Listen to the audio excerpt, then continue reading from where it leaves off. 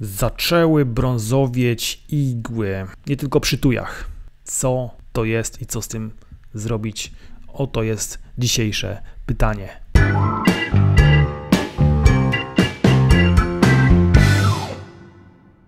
Dzień dobry, dzień dobry ogród. Moi drodzy, moi kochani, no tak jak widać na załączonym obrazku zaczęły brązowieć mi tuje. Zresztą nie tylko tuje. No może tutaj tak dokładnie tego nie widać, na tym zdjęciu świeci słońce i trudno dostrzegalny jest ten kolor, ale zobaczcie tutaj może też na innych zbliżeniach lepiej to widać. I to brązowienie jest od zewnątrz rośliny, przenika się bardziej do środka nie jest tak, że ono wychodzi od środka, tylko właśnie od zewnątrz, od tej zewnętrznej strony rośliny się pojawiło.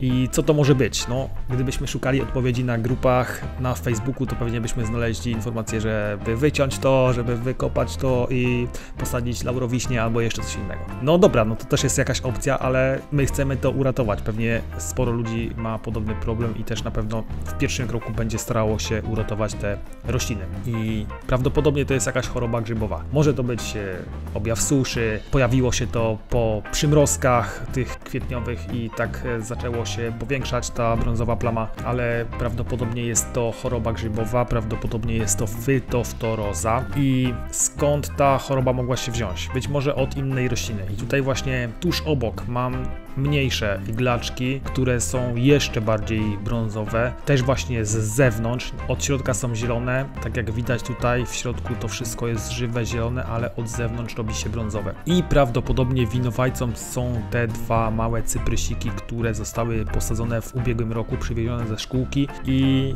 być może one już tą chorobę miały. Także w pierwszym kroku pozbywam się tych młodych krzaczków, pozbywam się ich całkowicie. No szkoda, ale pozbywam się ich. I to też jest jakaś nauczka, bo te małe cyprysiki zaczęły się robić brązowe już w zeszłym roku, ale troszkę to zignorowałem, troszkę zwaliłem na suszę i na to, że prawdopodobnie podsychają, a okazuje się, że prawdopodobnie była już to choroba i trzeba było zacząć działać już w zeszłym roku, żeby teraz nie mieć tak dużych problemów. A w drugim kroku będę usuwał to wszystko brązowe, na tyle na ile się da. Te wszystkie objawy tego grzyba, tej choroby, tej fytoftorozy będę starał się usunąć. Także nożyce w dłoń i do dzieła. Można to ucinać sekatorem, można to zrobić właśnie nożycami elektrycznymi, czy spalinowymi, czy akumulatorowymi, jakimi tam chcecie.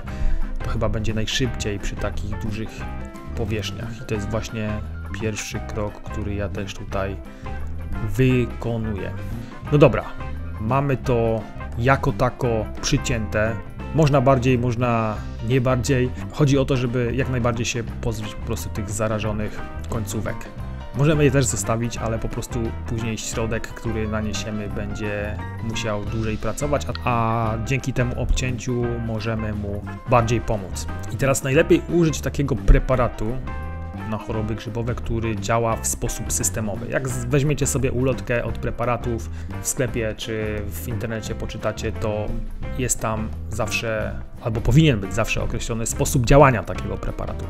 I najlepiej wybrać właśnie preparaty o działaniu systemowym. Dlaczego? Dlatego, że jak pryśniemy na tą roślinę, czy też podlejemy pod tą roślinę ten preparat, bo różnie można używać, różne są preparaty, to zostanie on rozprowadzony do całej rośliny, tak? Czyli roślina wraz z sokami rozprowadzi go do wszystkich swoich zakamarków, do każdej końcówki, do każdego pędu itd. Tak itd. Tak I tak właśnie działają preparaty systemowe. Więc nie trzeba dokładnie tej rośliny opryskać. No, im dokładniej, tym lepiej oczywiście, ale nie trzeba tak dokładnie zwłaszcza tych dużych roślin opryskać, a i tak będą widoczne efekty. I ja wybrałem preparat o nazwie Proplant, Proplant 722SL i to jest właśnie preparat, który działa w ten sposób.